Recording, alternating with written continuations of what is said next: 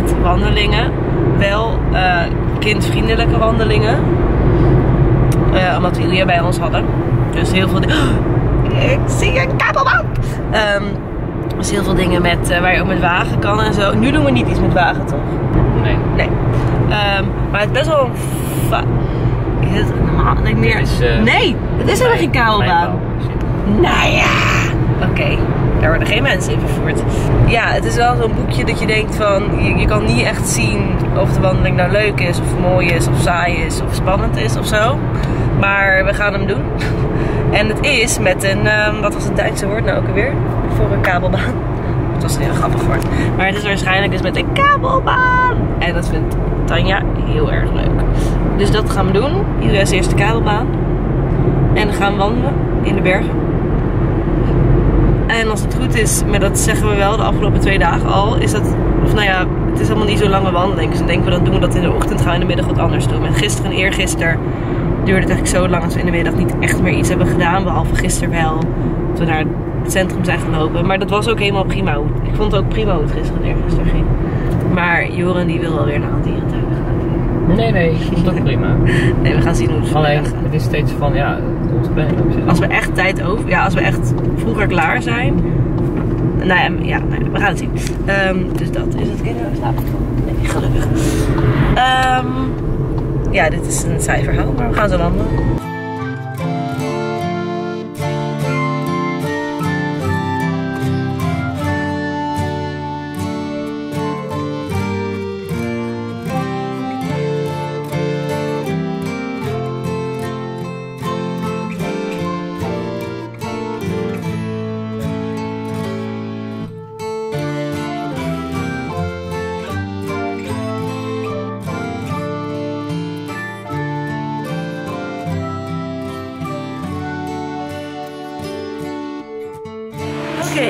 Het was eh, een beetje eng in de kabelbaan, vond ik. Joran vond van niet. We hebben allebei hoogtevrees, maar het komt niet allebei altijd op dezelfde momenten erboven.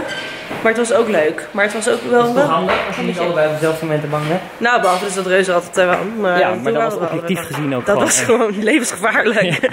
nee, dat is wel zo. Dat is vaak... Na, Zo proberen ze mensen te trekken. En weer voort te klaar. Dit is après-ski, jongen. Hier gaan we, hier gaan we après-skiën straks. Kijk. Waarom is er nu zoveel rood? Mag je daar niet skiën? Oh ja, dat is allemaal, oh ja, dat is allemaal uit, want hier kun je niet skiën. Ja, de... Alleen het ding- dingetje doet het. Wat cool.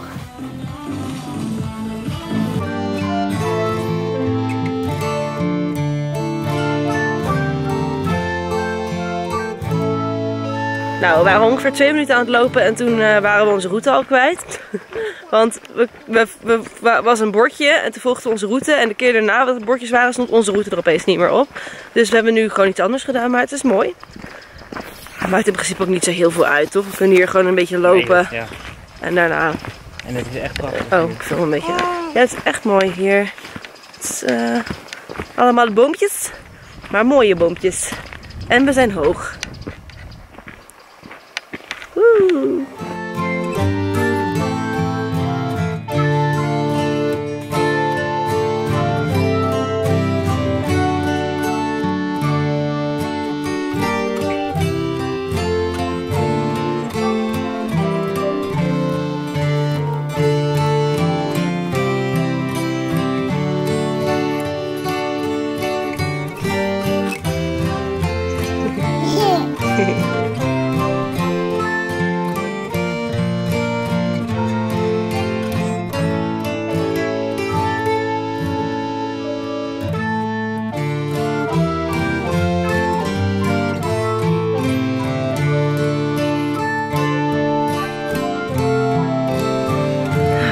Aan het eind van onze wandeling.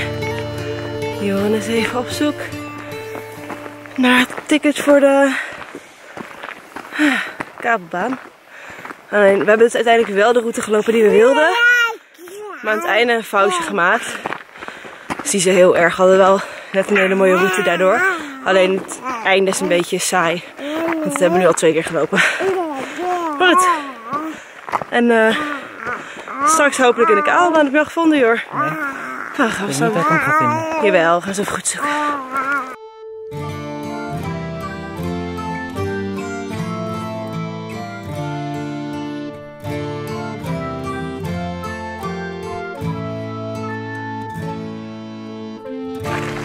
Oké, we hebben net voor mijn gevoel eh, drie uur in de auto gezeten.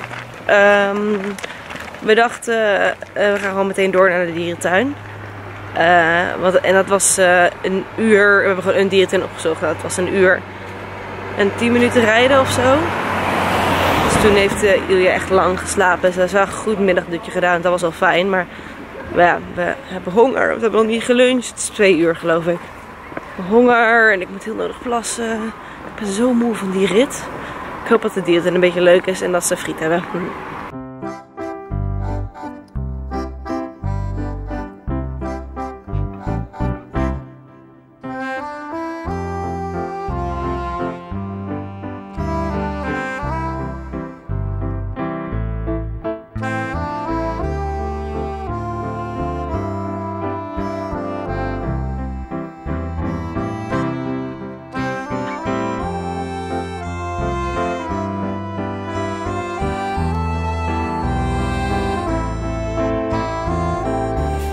Vond de dierentuin echt heel erg leuk. Misschien was het wel mijn lievelingsdierentuin van Tsjechië.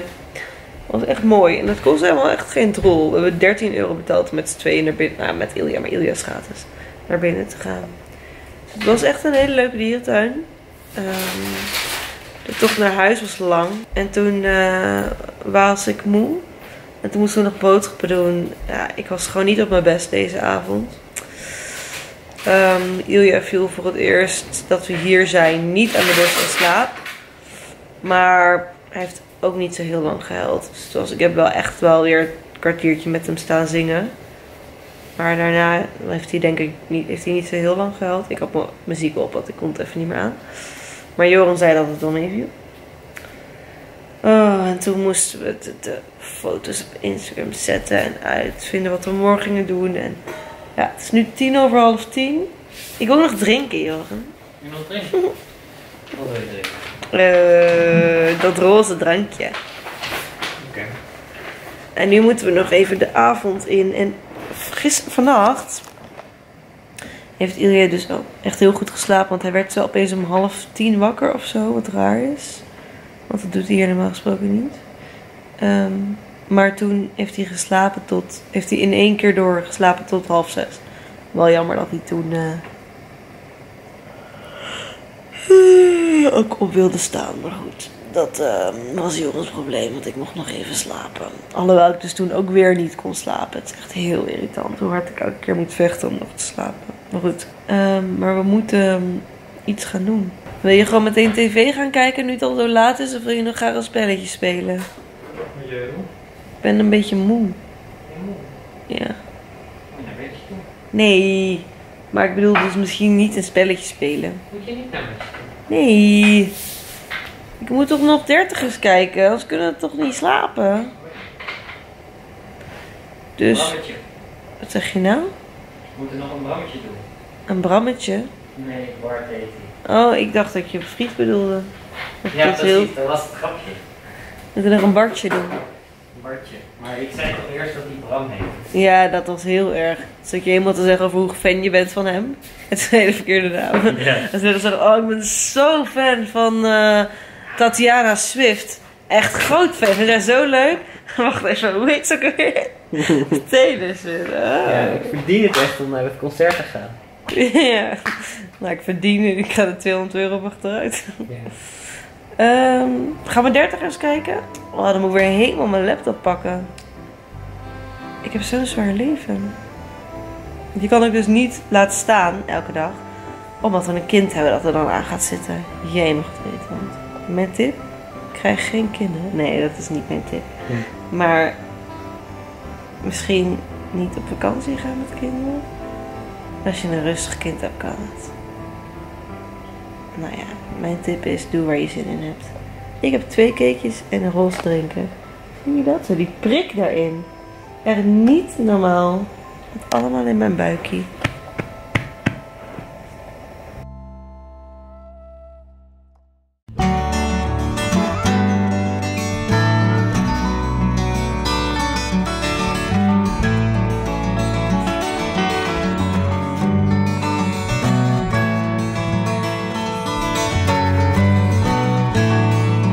Dan lopen we weer. We zijn eh, in een gebied waar weer een beetje die rotsformaties zijn van eergisteren. Het schijnt hier ook wel heel mooi te zijn. En we zijn naar een parkeerplaats gegaan waar we heen moesten van een of andere website. En daar stond dan, oh, daar kun je allemaal routes kiezen. Maar ze zeggen dan ook weer niet heel duidelijk. Ja, je kan wel kiezen tussen groen en geel en rood of zo. Maar, oh, pas op. Eh is verder niet heel duidelijk wat voor routes dat dan zijn. Dat is wel een beetje jammer. En we willen ook wel echt per se een rondje lopen. Want ja, we moeten weer terug naar de auto, logischerwijs. Dus we weten nu niet zo heel goed waar we aan zijn begonnen. Maar we zijn in ieder geval onderweg naar een kasteel. Ja, we denken dat dat altijd wel mooi is. En eh ja, dat gaan we doen.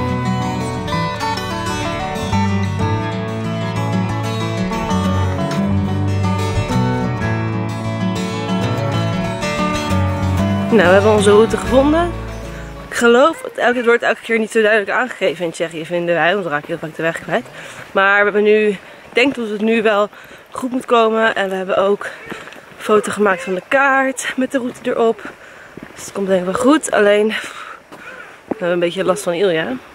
Want die is erg lawaaierig. En omdat hij dus bij Joran achterop zit, is hij gewoon de hele tijd in zijn oren aan het krijsen. Dus dat is een beetje om gek van te worden. Hopelijk wordt hij straks wat rustiger.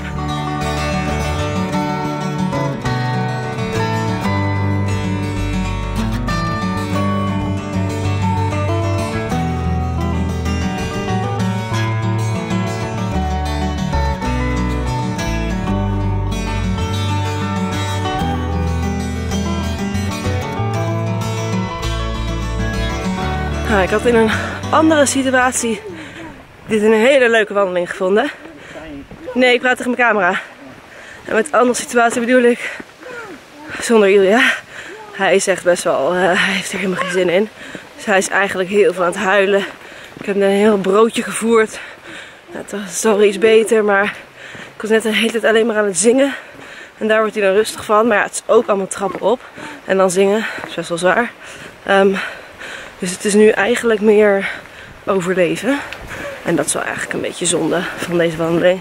Maar ehm, ik hoop dat hij zo in slaap valt en dat we gewoon nog even kunnen genieten. En anders is het een beetje weggegooide dag. Vol van karakter, vol van plezier, vol van het leven, vol het liefde en. Vol van elkaar, vol van de liefde, vol van de aarde. De bron en de ben jij hè? Vol van karakter, vol van plezier.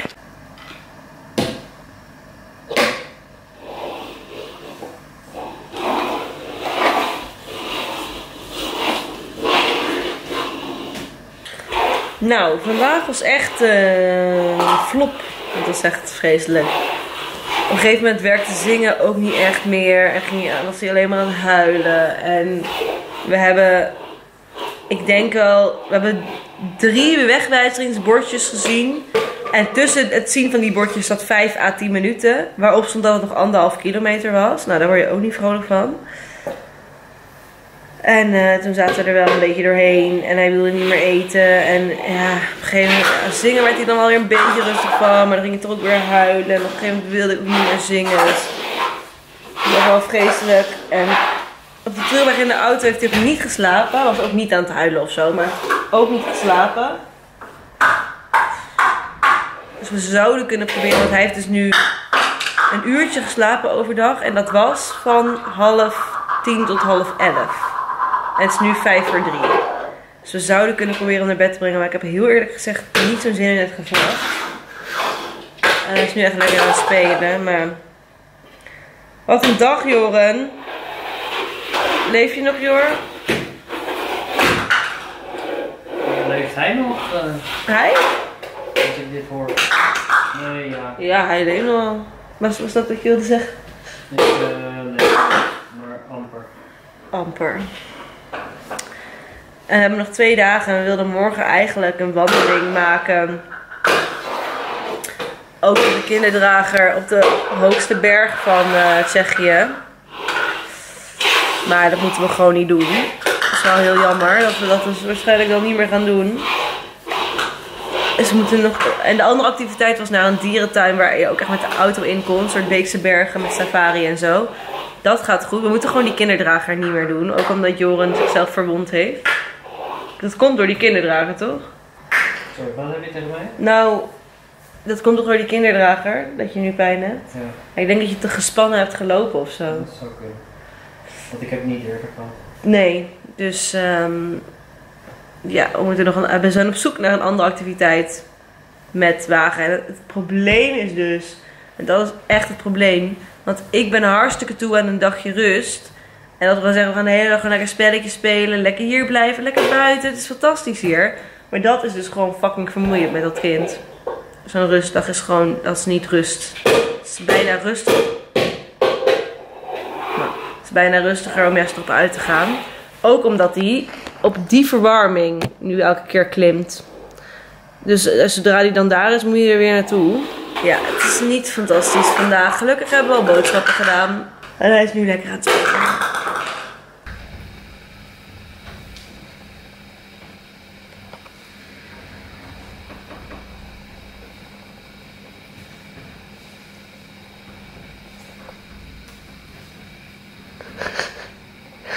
Hey, Julia.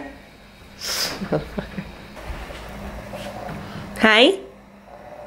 Wat doe jij hier? Wat doe jij hier?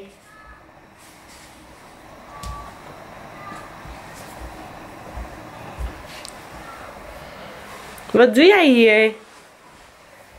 Hallo? Hallo? Gaan we naar bed?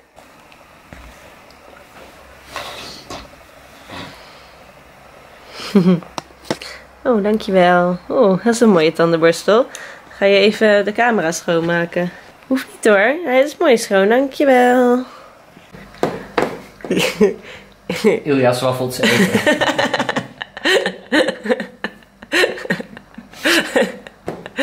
Ik zwaffel zo de Eiffeltoren. Oh nee, de toren van Pisa voor je. Zo, dat is mijn eh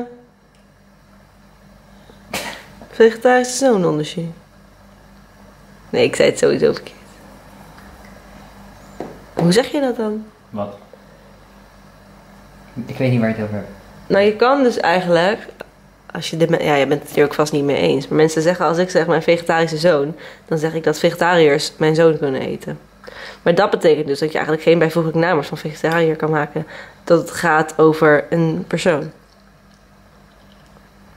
Nee, dat kan misschien wel, maar je kan niet zeggen ik ben vegetarisch. Nee, maar dan is het ook een bijvoeglijk naamwoord. Nou, ja, ik vind dat dat dus, dat is het punt. Ja. Je kan dat dus wel zeggen. dat zei ik net, dat jij het er vast niet dat mee eens bent. Als jij zegt mijn vegetarische zoon, dan is dat toch dat hij geen vlees eet? Nou, dat klinkt dus voor mij alsof ik hem mag eten. Nee, zo klinkt het Dat niet. mag ik ook. Dat is mijn zoon. geconditioneerd iets. Net als... Kun je die haar weghalen bij dat eh, kapje? Bij dat... Is het lekker, Il? En papa mama maar raaskallen. Maar wat ik eigenlijk wilde zeggen is dat dit tot nu toe vaak vlees eet voor iemand die vegetarisch is. Oh, is het klaar? En je hebt ook nog andere dingen, hè? Even bewaren voor het eind. Heel Ik slim. weet even niet wat ik moet. Ja, jouw burgers. Nou, je hoeft nog even niet hoor, want ik moet hem nog helemaal naar bed brengen. Oh, oké. Mijn haar zit een beetje. Nou ja, goed. Het was, eh, het was een, eh, het was een dag. Ja, nou ja, ik heb het volgens mij al gezegd, maar die hele wandeling. Oh, het is vies. Oh, daar heeft Ilja aan gezeten. Nou ja, die hele wandeling was gewoon. Oh, kijk dan. Ik word echt helemaal van dit uitzicht. maar, ehm, ja, die hele wandeling was gewoon best wel kut. Ehm, en we dachten dat Ilja zou gaan slapen op de terugweg, maar in de auto, maar dat heeft hij niet gedaan. Ehm, dus hij heeft alleen maar vandaag van half tien tot half elf geslapen. Dus hij was echt vet moe toen we thuis waren. En hij heeft hier eerst even heel lief leuk gespeeld, maar op een gegeven moment was het gewoon op. En als hij ging kruipen, dan viel hij al om. Omdat hij zo moe was. Hij kon niet meer kruipen. Dat was gewoon echt heel zielig.